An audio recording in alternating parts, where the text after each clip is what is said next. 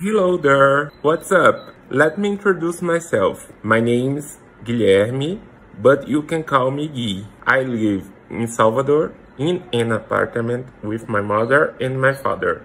Nice to meet you. See you later. I need to get going. Bye bye. Hello teacher, how have you been? Uh, let's compare the people in this house. My dad, my mom, and me. So let's get started. Um, my dad is taller than my mom, but I am the tallest of all. Um, he is older, older than her.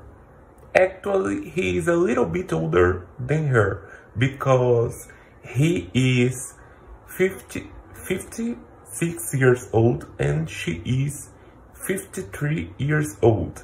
He is as friendly as her and I am the most friendly in this house.